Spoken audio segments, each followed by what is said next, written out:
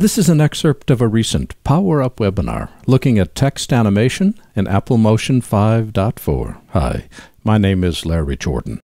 In this excerpt, I'll show you how to apply basic motion behaviors to text. Everything that we know about how to find a text behavior, to apply a text behavior, to modify the text behavior by going to Inspector Behaviors in 2D text works with 3D text as well. But what happens if I don't want to work with one of the custom behaviors? I want to create my own. Here we've got a number of options, and all of them are very cool. Let me illustrate. Notice I've selected a text, go up to Behavior, go down to Basic Motion. Those that will help text the most are Throw, Spin, Motion Path, Grow Shrink, and Fade In, Fade Out. Let's do Fade In, Fade Out first. Go to the HUD because it's easiest to see, F7. This says that my text is going to take 20 frames to fade in and 20 frames to fade out at the beginning and end of the effect, not the beginning and the end of the text clip. If I want to make this a faster fade, grab the vertical line, drag left, and it now does a 10 frame fade in, and I want to have it do a 60 frame fade out. So we'll do a fade in, there's our 10 frame fade in, and there's our 60 frame fade out. I just click the mouse to save us some time because we all get easily bored and fade out.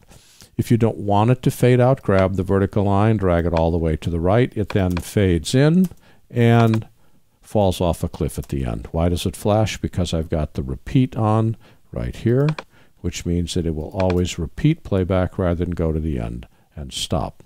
So we'll just have it repeat. So fade in, fade out allows me to add fade ins and fade outs to my text. Get rid of that. Next, behaviors, basic motion, throw. What throw allows me to do, and notice I've hit the spacebar so the playhead is playing. I click, I say I want the text to move in the direction of the arrow. The direction of the arrow determines which way the text is moving. The size of the arrow determines how quickly the text is moving. And this text is flying at a fair rate of speed. Well, the nice thing about throw is it gives me movement in a specific direction, but the distance the text travels is based upon the size of the arrow and the duration of the effect. Sometimes I want to have it start at a very specific spot and end at a very specific spot. Throw is not the behavior for that. Instead, select our clip, Behaviors, Basic Motion, and we want to create a motion path. What a motion path does, I'm going to zoom back a bit here, is it gives me a starting position for my text, and it gives me an ending position for my text.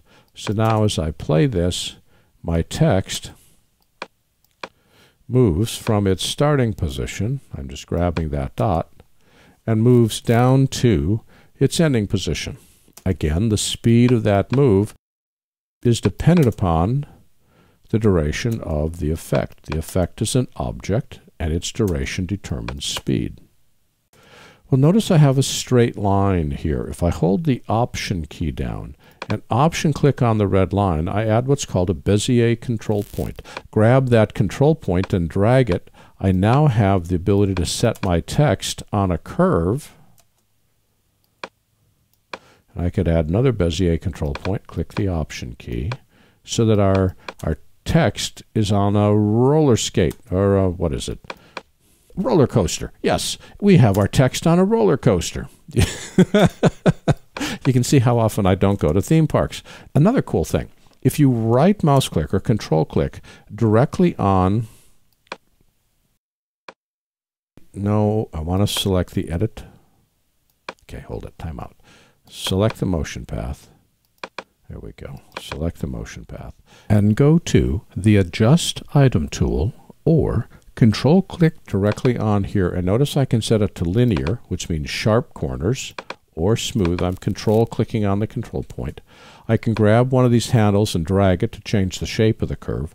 Hold the Shift key down to constrain movement to 45 degree angles.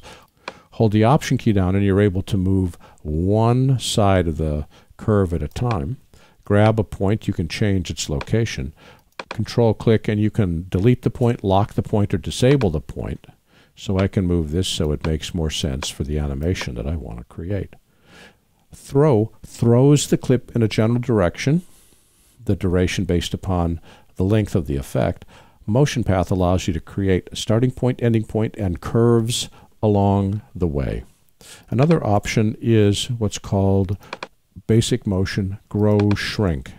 This allows me, if I hit the spacebar to play, click outside the box, I'm in the HUD, and the title gets bigger. Click inside the box, the title gets smaller. The larger, the farther outside the box you click, the bigger it grows.